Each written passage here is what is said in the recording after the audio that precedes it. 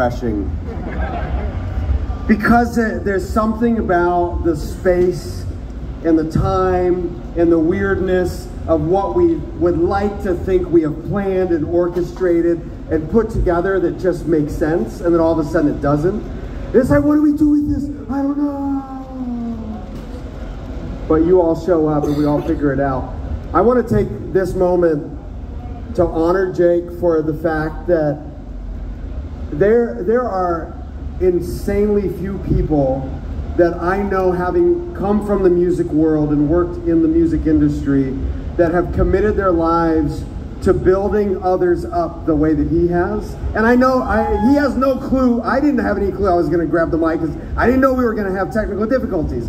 But the fact that so many of us are inwardly dealing with demons on a daily basis, and I and whether whether we even possess awareness of what addiction or what depression or what discouragement or what rejection or what failure or what fear or what just the stresses of life bring, especially as each of us age, is one thing, but then to stop and put so much of our energy towards one another and, and looking at each other and like, no, you matter so much that, that I'll just use my life to serve you and to build you up. The reason Furnace Fest exists is because people like Jake led the way and inspired my heart and was like, oh, does he, I can't let him be the only one. Yeah.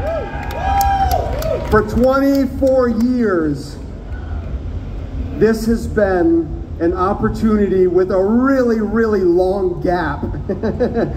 a way too long of a gap, but it just is what it is to say that you all are the most beautiful expression of life that I could invest myself into, and that being here every year for the past four has been by far the most life-giving three days that I get to experience, even though my, my old man feet are like, like tingling, you know? I'm like, oh, I've changed my shoes twice already. My legs are like, oh, I'm so tired. My, my back's sore. I try to go to the gym, but I don't have a Jake in my life, and so I don't have a lot of inspiration that too. Is that it, it's a guitar. It, I could I could kill a lot of time and it would be really boring and you would definitely all fall asleep for 75 minutes. How do I know that it's time to like that sounds a little bit like it could be I love you Fest. I love you Jake. We love your heart support. Thank you for being amazing.